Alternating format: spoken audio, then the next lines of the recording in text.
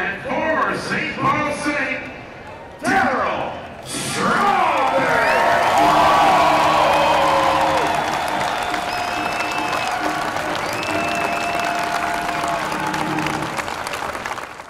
What he did in St. Paul made him a legend. It was the straw in St. Paul, a marriage made in baseball heaven. Darryl needed the Saints, and the St. Paul Saints needed Darryl Strawberry. Kids, if you're out there, if you ever want to have some fun and see the world's most beautiful swing, go to YouTube and watch some Darryl Strawberry highlights. With Darryl's continuing commitment, both with his foundation, his speaking engagements, and other activities, his commitment to make people's lives better, in a sense, epitomizes what the St. Paul Saints have strived to be for the past 30 years. Good people with good hearts and trying our best in however modest ways to make people's lives better. Midway, all the concourses were hidden. You couldn't really see the field. So you're running around in there and you can hear batting practice going on. And all of a sudden, sound. And there was no sound like it ever. We retire your number 17, making Darryl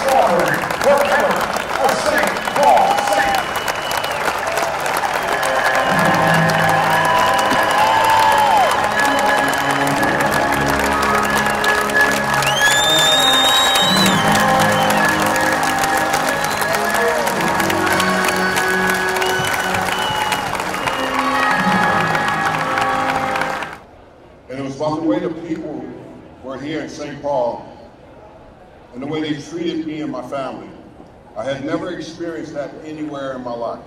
So I want to say thank you to you wonderful, amazing fans, amazing people here in St. Paul, Minnesota. Thank you for the love.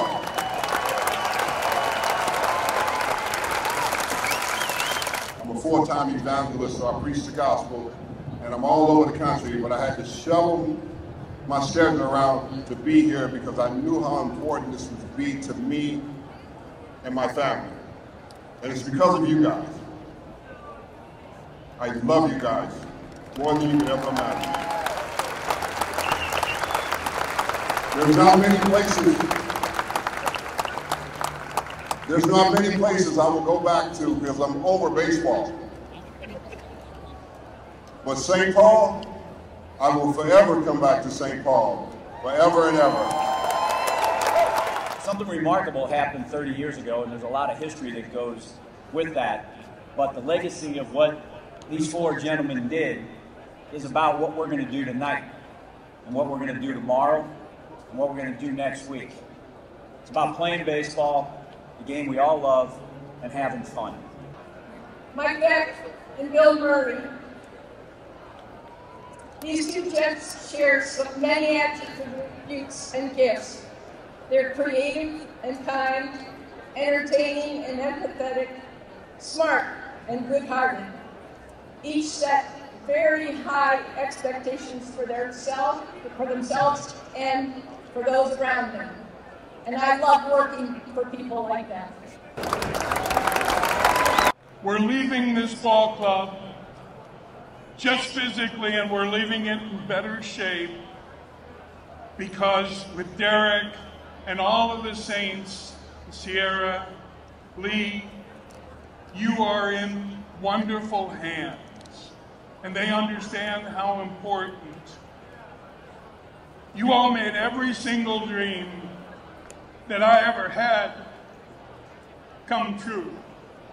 And I want you to know that you created the model for what great baseball fans should be. And I'm appreciative. Get up and cheer yourselves. There is no better baseball experience than going to a St. Paul Saints baseball game.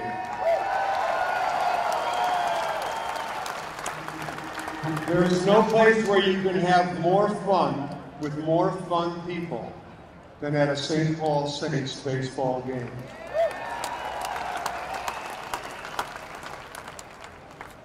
I grew up in Chicago and I grew up rooting for the Chicago Cubs, and people say to me, You must hate the White Sox. No, I don't. I'm, I'm okay with the White Sox.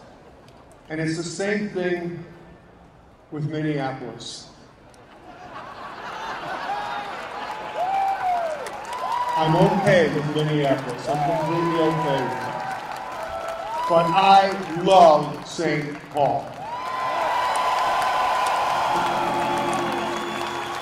It was Van got us here, and was Marv that like pushed us around and made us, you know, show up for work and stuff like that. We don't want to show up for work. And Mike made all the fun, and Annie Huidekoper and Tom Whaley. They taught all these people how to run a baseball team. And it is, the real proof is that everything we started doing here in the 1990s, all the major league teams do now in their ballpark. 93 or 1993. That will be every